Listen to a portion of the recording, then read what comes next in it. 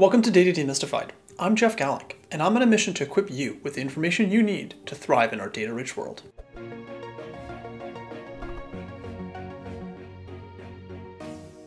Sometimes when we think about the future, things are very simple. If I press down on the gas pedal, my car will start to move. If I push the power button on my remote, my TV will turn on. And if I take a bite of pizza, it's going to be delicious. Those are what we call deterministic or nearly deterministic events. I do something, and a known consequence follows. However, the future is rarely so cut and dry. For example, if I leave my house at 8 am to get to work, how many red lights am I going to get stuck at? If I binge watch YouTube videos, how many of them am I actually going to enjoy? And if I eat a fistful of jelly beans, how many are going to make me delighted, and how many will make me wince? Unlike the first few examples, these last three are what we call probabilistic events. They are events whose possible outcomes are known, but what's not known is how many of each of those outcomes will actually turn up. The focus of this video is to try and understand how we can interact with a world filled with probabilistic situations. In particular, we're going to learn about expected value and how it can allow us to make a better prediction about future events. If you stick around, I'm going to quickly define expected value using a simple stylized example. Then I'll provide a bunch of practical examples on how expected value can be used in the real world. And finally, we'll work to help you take what you've learned turn it into intuition, and apply it to other examples in your life. So let's start with a definition. Basically, expected value is a way to think about all possible future events as a single number. We do that by considering every single reasonable outcome, how likely those outcomes are, and how much value each outcome provides, and then sum it all up. This is a lot easier to explain with an example, so let's do that. To kick this off, we'll pick a really simple example, and then we'll build to make this a lot more interesting and useful.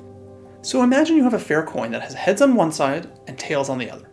Now imagine that you flip this coin a hundred times. You might wonder how often it will come up heads and how often it will come up tails.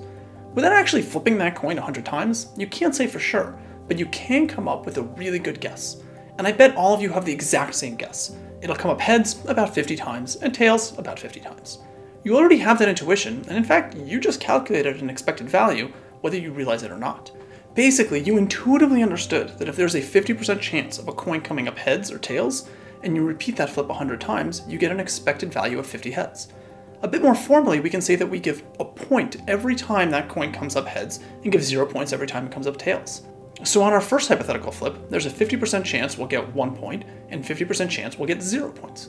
If I multiply those out and add them up, I get half a point. That means that every single coin flip will earn us half a point. And if I do this 100 times, I get 50 points. Since we said that points are just our reflection of how many times heads comes up, we can say that we expect out of 100 flips, 50 of them to be heads. That was a pretty long way to go for a simple example, so let's see why this idea is actually important in the real world. But before we do that, if you like what you're seeing, please take a moment to like this video, subscribe to this channel, and click that little bell icon so that you don't miss out on any new content that I put out. With that said, let's take a look at how to use expected value when buying lottery tickets. A lot of us like to play the lottery. It can be fun and exciting to hold on to that ticket dreaming of what you'll do with all that jackpot money. But is buying a ticket a good idea? It turns out expected value can answer that question for us. Let's take the very popular Mega Millions lottery. If you're not familiar with how this lottery works, basically you pick 5 numbers from 1 to 70 and an extra bonus number from 1 to 25. If the randomly drawn numbers match your picks, you win the jackpot. For now, let's just pretend that the jackpot is the only prize. I'll get to the smaller prizes in a second.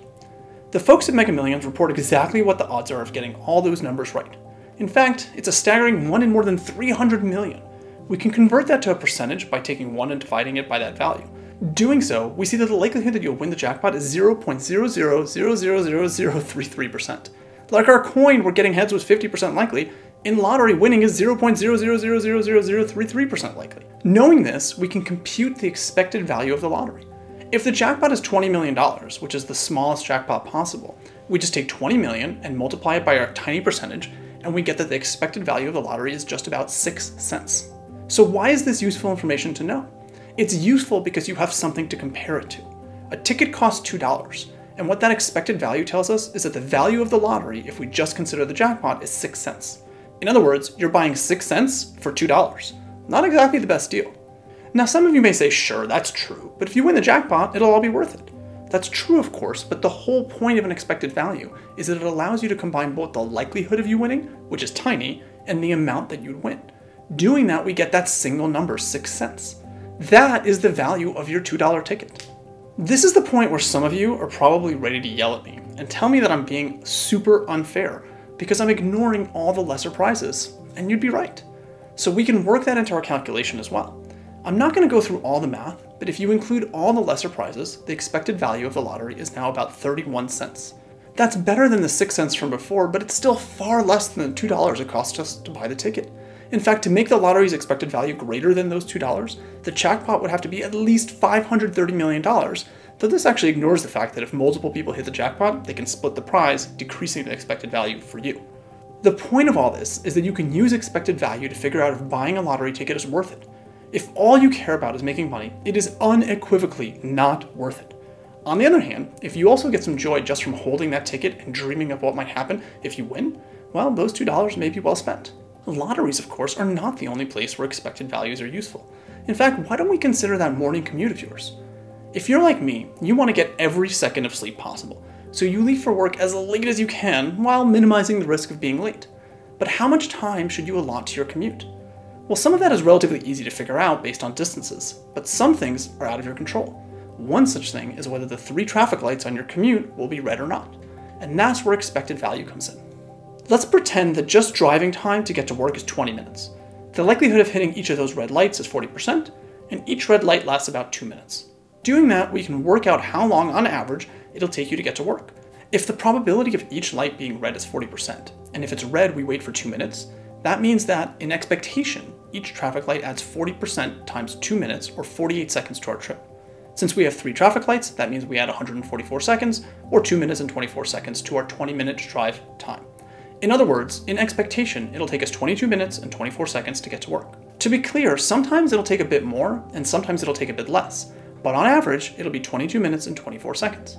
I'm oversimplifying a bit here because we don't know when we would arrive in a red light cycle and whether there's traffic, but we can do the exact same type of calculation to figure that out as well.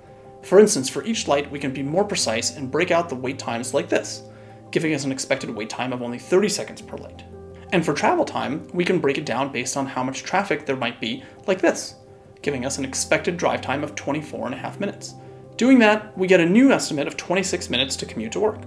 All of this uses the same basic idea of expected value, and critically, what it lets us do is make important decisions in our life, like how many extra precious seconds of sleep we can get.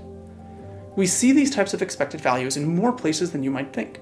When playing board games, understanding expected value can dramatically increase your chance of winning.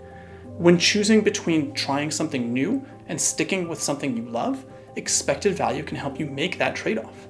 And when deciding on whether to invest time and money into hunting down a bargain versus just paying full price, expected value can help you make that call much more objectively. The point of all this is that expected value is an amazing tool for comparing between deterministic sure things and probabilistic unexpected ones.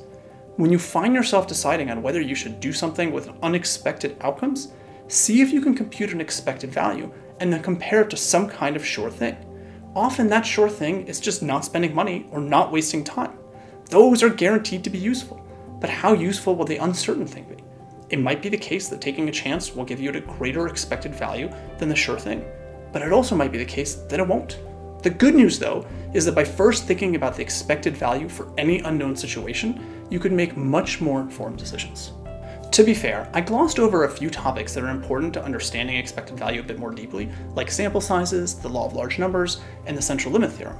But if those are topics you're interested in, please take a moment and leave a comment below, and I'll make sure to make content meant just for you, my viewers. Finally, if you like what you saw, please take a moment to like the video, subscribe to this channel, and click that little bell icon so that you don't miss out on any new content I put out. Thanks for watching.